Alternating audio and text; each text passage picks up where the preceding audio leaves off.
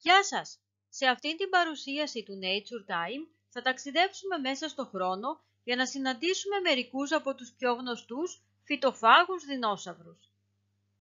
Πρόκειται για ερπετά τα οποία έζησαν αποκλειστικά στο Μεσοζωικό αιώνα. Πρωτοεμφανίστηκαν πριν από 230 εκατομμύρια χρόνια και εξαφανίστηκαν πριν από 65 εκατομμύρια χρόνια. Πάμε λοιπόν να αναφέρουμε τους πιο γνωστούς φυτοφάγους δεινόσαυρους. Βροντόσαυρος. Απατόσαυρος. Βραχιόσαυρος. Πρωτοκεράτοψ. Τρικεράτοψ. Αγγυλόσαυρος. Στεγόσαυρος Διπλόδοκος.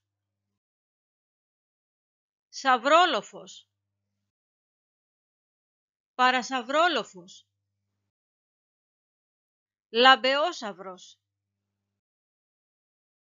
Θεριζονόσαυρος Εντμοντόσαυρος.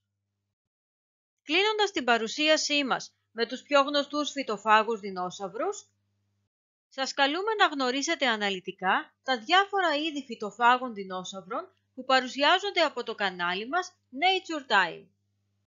Αν σας άρεσε μάλιστα η παρουσίασή μας, θα χαρούμε πολύ να μας το δείξετε κάνοντας εγγραφή στο κανάλι μας και βάζοντας like.